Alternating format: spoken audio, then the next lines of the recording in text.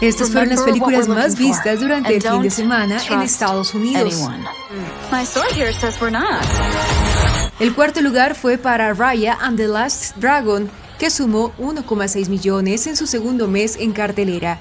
Este filme de Disney es ya la segunda película más taquillera del año, solo por detrás de Godzilla vs. Kong, que quedó en quinto lugar con 1,4 millones de dólares embolsados.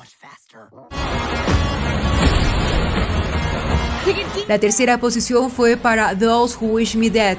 El thriller, protagonizado por Angelina Jolie, logró atraer de nuevo a un puñado de espectadores a los cines en su segunda semana en taquilla, a pesar de que se estrenó de manera simultánea y gratuita por la plataforma HBO Max.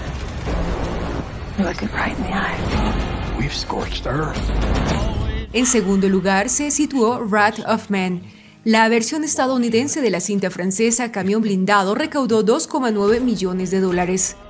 El actor Jason Statham regresa a la gran pantalla con un papel de héroe de acción en esta película, que es además su tercera colaboración con el director Guy Ritchie.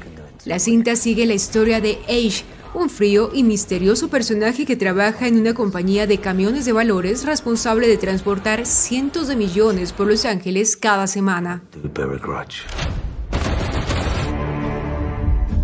La primera posición para las películas más vistas en Estados Unidos, donde los cines comienzan a retomar poco a poco su actividad, fue Spiral, la novena entrega de la saga de terror Saw.